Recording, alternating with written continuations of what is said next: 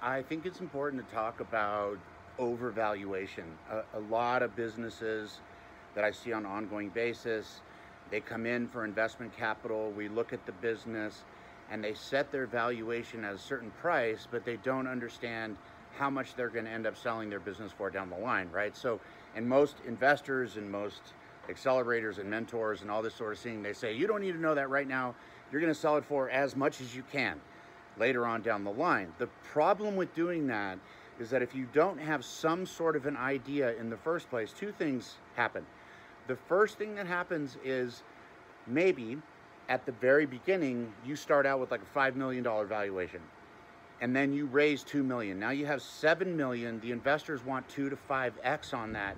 So a lot of the entrepreneurs are thinking, "Oh, you know, I'm at I'm in it for 7 million, but they're really in it for 14 or 28 million.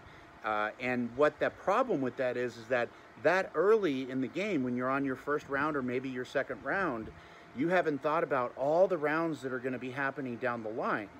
And if you haven't thought about that, you can get into a position where you're overvalued.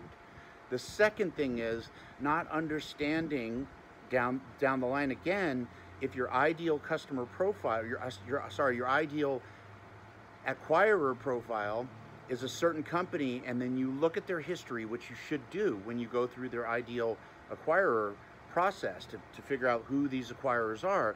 You can see a history, you can find this in Crunchbase and a lot of other places where you can see the business buying other businesses. You can see a pattern. They haven't never bought a business over 25 million, 50 million, something like that.